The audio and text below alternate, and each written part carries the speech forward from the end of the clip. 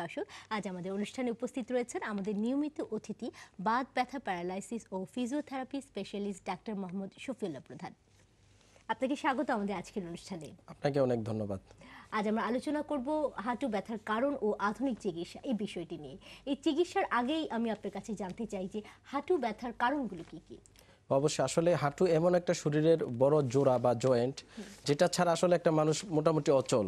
যদি কারও হাঁটুতে কোনো সমস্যা হয় তাহলে দেখা যায় সে একেবারে প্রাথমিক জীবন থেকে শুরু করে বড় আকারে ঝামেলা পড়ে। আর এর ভিতর সবচেয়ে যেটা কারণ মানে হাঁটু ব্যথার সমস্যার সবচেয়ে বেশি কারণ আমরা যেটা রিসার্চও দেখা গেছে অস্টিও আর্থ্রাইটিস বা আর্থ্রাইটিসের ভিতরে সবচেয়ে যেটা কমন অস্টিও আর্থ্রাইটিস এই রোগী বেশিরভাগ মানুষ হাঁটুর সমস্যা ভুগে থাকে। তাছাড়া আপনার রিমাটয়েড আর্থ্রাইটিস হতে পারে বাচ্চাদের জুভেনাইল আর্থ্রাইটিস অথবা অ্যানকালোজিং স্পন্ডিলাইটিস অন্যান্য আর্থ্রাইটিস থেকেও আপনার এই হাঁটু ব্যথা হতে হতে পারে। পাশাপাশি হাঁটুতে যদি কেউ আঘাত পেয়ে থাকে চলাফেরায় কাজকর্ম চলাফেরা উঠা বসা অথবা যে কোনো কারণে হোক যদি কোনো আঘাত পা হাঁটুর যদি গঠন আমরা দেখি হাঁটুর ভিতরে যে উপরে একটা বোনস ফিমার আর নিচে টিবি আর পাশে একটা পেটেলা সামনে পেটেলা। এই নিয়ে হাঁটুটা একটা বড় লার্জ জয়েন্ট গঠন করছে। এই জয়েন্টের ভিতরে অনেক সময় দেখা যায় যদি ইনজুরি হয় ভিতরে মিনিসকাস নামক একটা কুশন টাইপ সাবস্টেন্স আছে যেটার উপরে হাঁটুর উপরের হাড়টা এসে বসে। মিনিসকাস অনেক সময় টিয়ার হয় বা ফেটে যেতে পারে।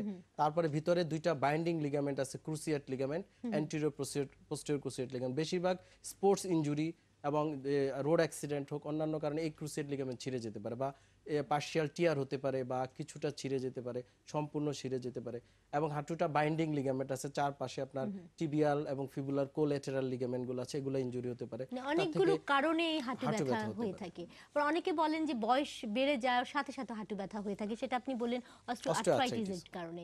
অনেক সময় দেখা যায় কম বয়সেও কিন্তু অনেকে বলেন যে আমার হাঁটু ব্যথা করছে।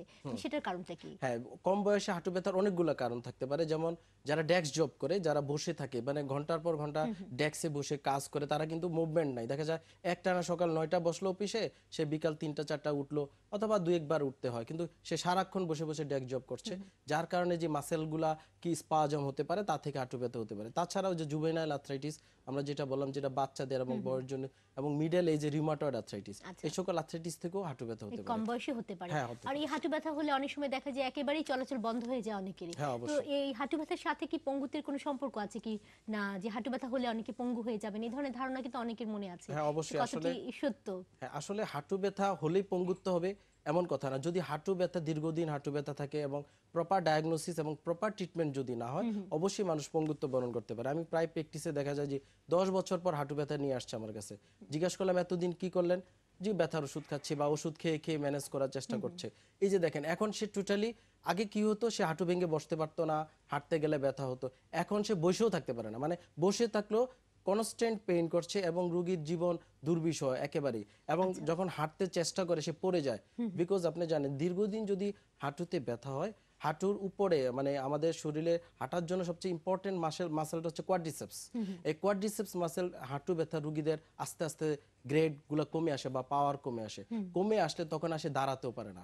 কোয়াড্রিসেপস তো আমাদের ধরে রাখে পশ্চারাল ব্যালেন্স সে তৈরি করে। তখন কোয়াড্রিসেপস যদি দুর্বল হয়ে পড়ে সে তখন যে দাঁড়াইতে চায় রুগীদের যায় কিছুক্ষণ দাঁড়ানোর পর দাঁড়াইতে পারে না পড়ে যায়। এখন একটার সাথে আরেকটা কিন্তু ওতপ্রোতভাবে রিলেটেড এবং দীর্ঘদিন যদি প্রপার ওয়ে ট্রিটমেন্ট না হয় এবং পুনর্বাসিত না হয় দেখা যায় আস্তে আস্তে পঙ্গুত্ব বরণ পঙ্গুত্ব করতে হয়। বরণ করতে হবে